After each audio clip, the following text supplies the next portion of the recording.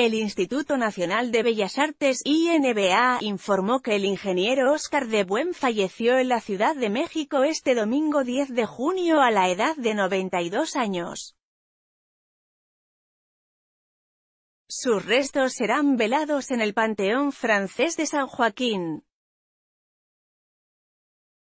Nacido en Madrid, fue reconocido con la Medalla Bellas Artes de Arquitectura en 2017 por las soluciones que permitieron erigir grandes espacios para la cultura en la Ciudad de México entre los que se encuentran el Auditorio Nacional, el paraguas del patio central del Museo Nacional de Antropología, el Estadio Azteca, el Palacio de los Deportes y la nueva Basílica de Guadalupe.